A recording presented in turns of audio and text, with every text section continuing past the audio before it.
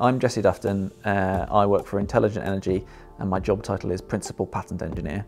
Uh, what it essentially means is that I look after their intellectual property portfolio. So I make uh, hydrogen fuel cells for a range of markets. I did my PhD on another clean energy technology material uh, and I had a keen interest in intellectual property um, and my current role enables me to work in both those fields. In my spare time I'm a rock climber and that's really exposed me to the like real world effects of climate change and if I can have a career that helps to mitigate that then that's yeah very fulfilling.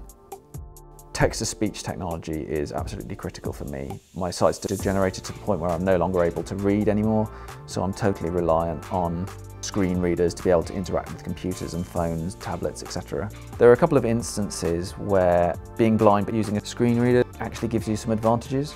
It reads what's actually there, not what you think is there. So that's a kind of an advantage, especially in my line of work where real accuracy is critical.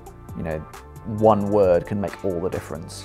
Being blind does force you to develop a whole range of skills that um, just aren't required if you're sighted. The problem solving, the uh, determination, the coming at things from a totally different angle does provide a whole host of benefits that you know, you wouldn't necessarily get if I didn't have the visual impairment. I always think that it's really good if a visually impaired person can find a role where they're the source of information rather than needing to take information in. That's really going to be what sets you instead, i.e. employ me because of my, my knowledge, my skills. That's what they value about, about me. I think that work's just a fairly fundamental part of life really. It's really important because it enables you to pick your path through life and determine your future really. It's, it's, it's integral. If anyone thought that I wasn't able to do my role because of my lack of sight, they'd be incredibly surprised.